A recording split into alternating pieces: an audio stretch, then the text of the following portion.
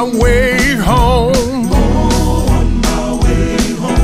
Oh, on my way home. You can just breathe on me. Holy Spirit, all I know is what I hear. I think I wanna know more. Come whisper in my ear. They say your power's so strong, it'll make you lay right. It's been a battle but I know it's not my fight. I'm wanted to know, can we live holy? Is there examples down here? Can anybody show me? When you've done all you can, seems like it's never enough. What do you say when your friends turn away and you are alone?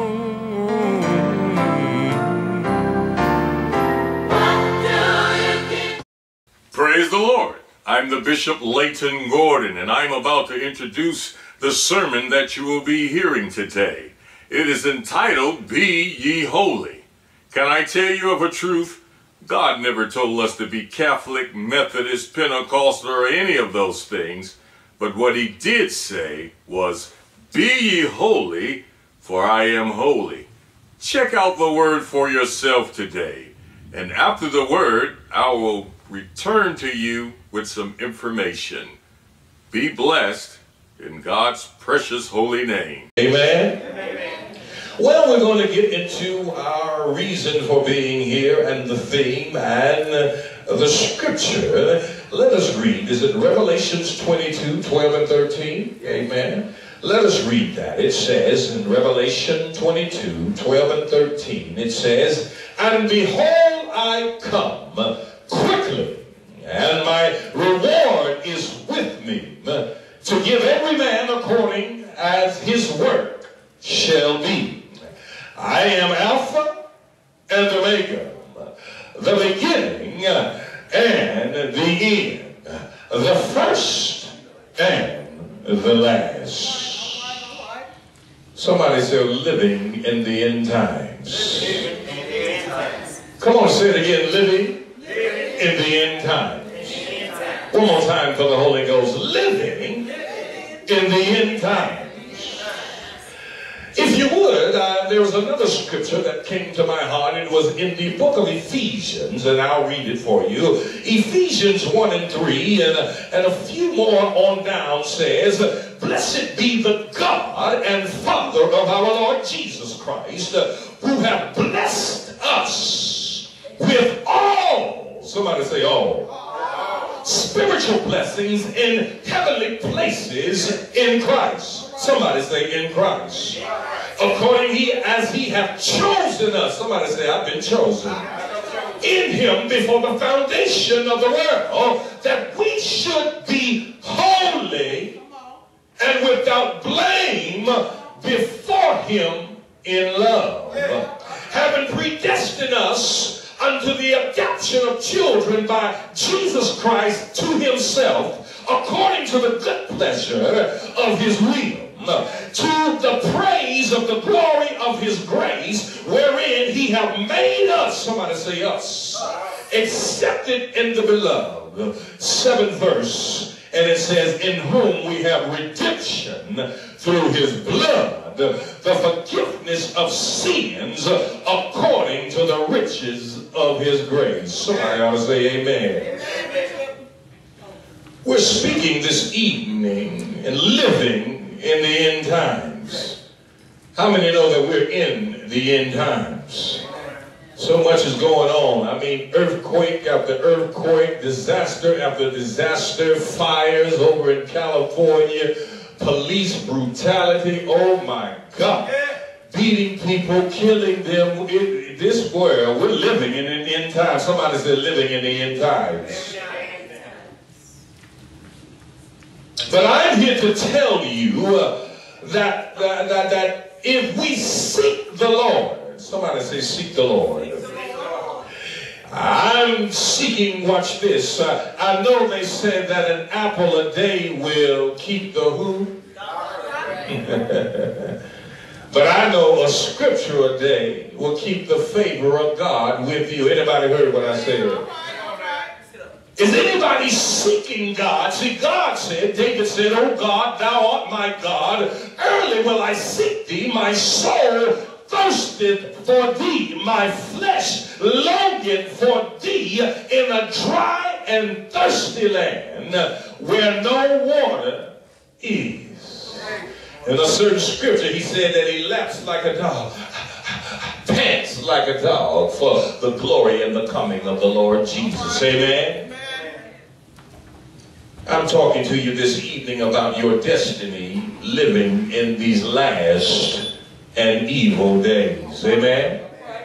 We got a destiny. Point to somebody and say, we got a destiny. But your destiny is not about your career. We have put that before our first call. If you remember, God called us to be holy in Christ. I wish I had some help up in here. See, for the love of money is the root of all evil. Now, it may be what you do, but it's not who you are. Mm. Before you were called to a career, God called you to be holy.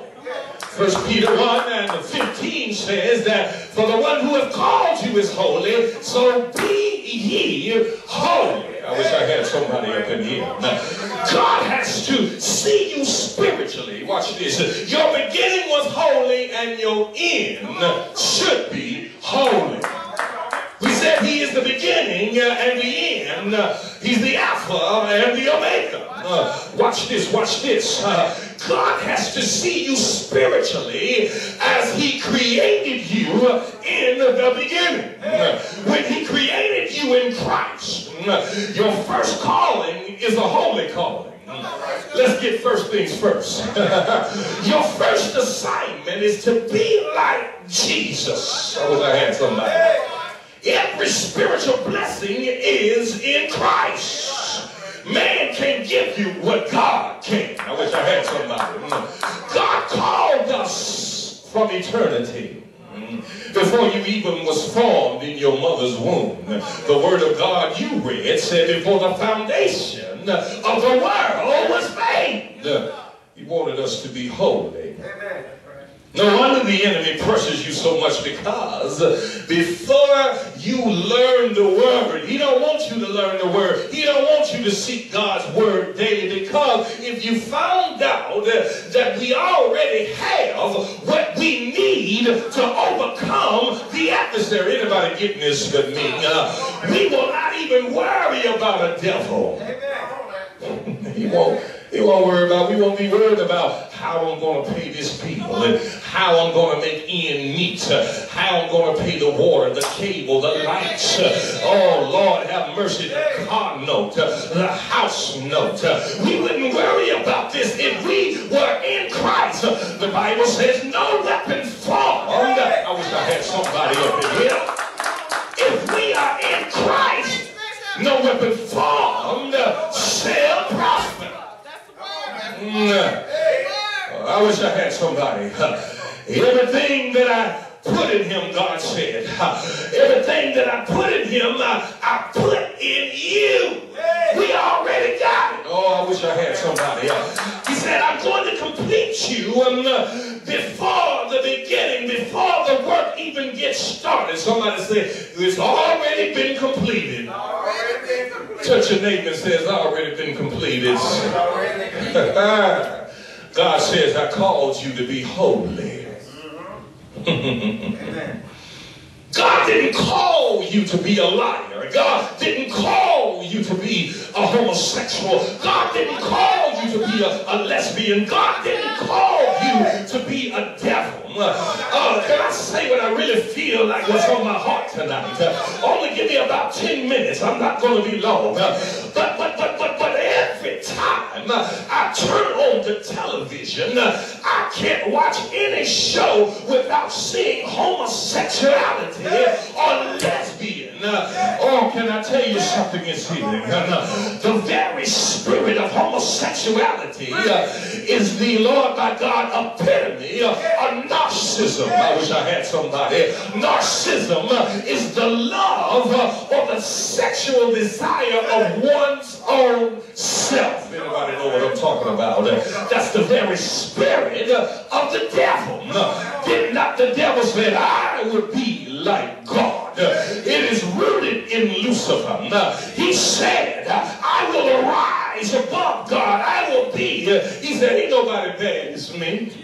This is what the devil said. That's the spirit that he throws off. And watch this. He said that he was so good that he wouldn't even submit to God. Mm, ain't nobody good as me. That's the spirit of lesbianism and homosexuality. Why?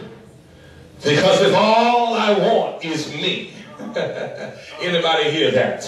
If all is me and nobody pleases me but me, uh, when I look at something the opposite of me, uh, I don't like it. I wish I had somebody. But if I look at something that looks like me, I wish I had somebody caught that in this place.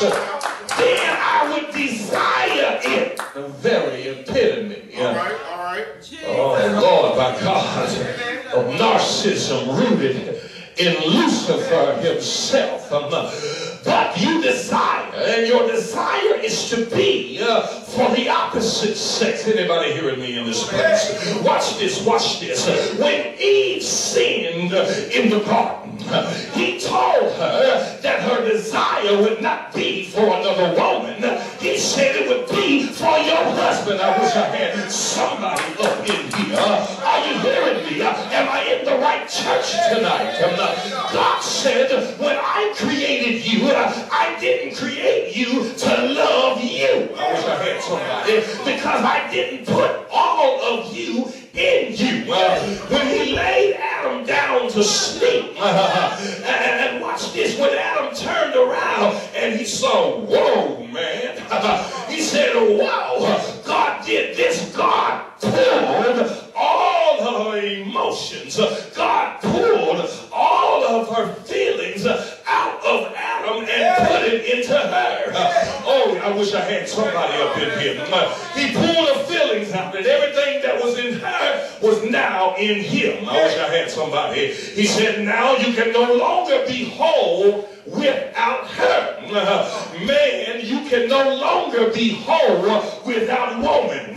Woman, you can no longer be whole without man.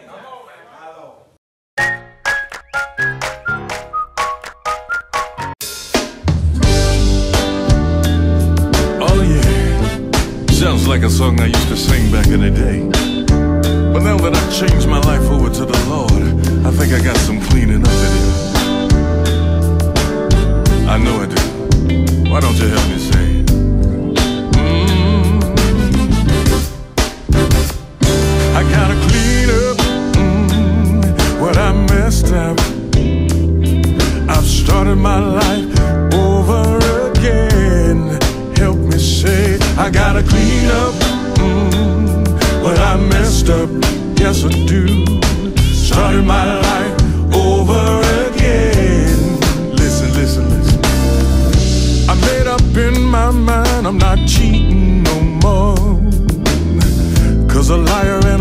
a cheater can't make it through the door. I gotta clean up mm, what I messed up. Oh yeah, I started my life. Oh. We the Bird family, watch God have our power. Yay! Praise God. When God created you, you were incomplete. And you can't complete your own self. you got to, to have somebody that don't have what you have to complete you in God. Y'all didn't catch that. All right, all right. You can't complete yourself, and, and you got to have somebody that don't have what you have to complete you in God. Yes, sir. Come on now. Praise God. Y'all don't want me to preach up in Go here. ahead. Praise God. God didn't create you to go against his will. The Bible says that he created us in love and before the foundation of the world was made in Christ Jesus. Jesus said, if you love me, you would keep my commandments. Well, in the Old Testament, a commandment of his said uh, that if a man lie with another man, uh, that they should take him out in the field and kill him. I wish I somebody. If a man lies with the beast,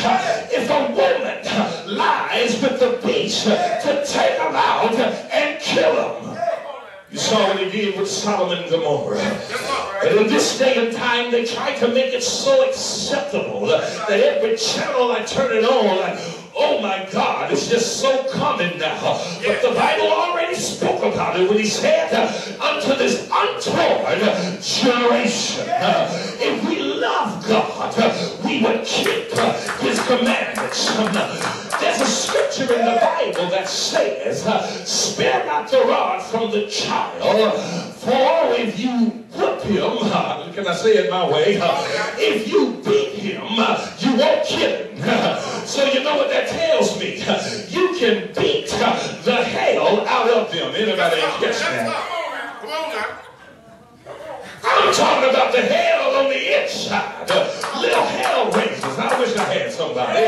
So if we can do that, then I know that the Bible says that love covers a multitude of sins. And we are able to love the hell out of them. Anybody hear me? now. Yes, sir. Hey. Praise God. I know some people may have been touched in the wrong places when they were young. I understand how this world is. Uh, uncles and uh, other people may have to done them wrong, but God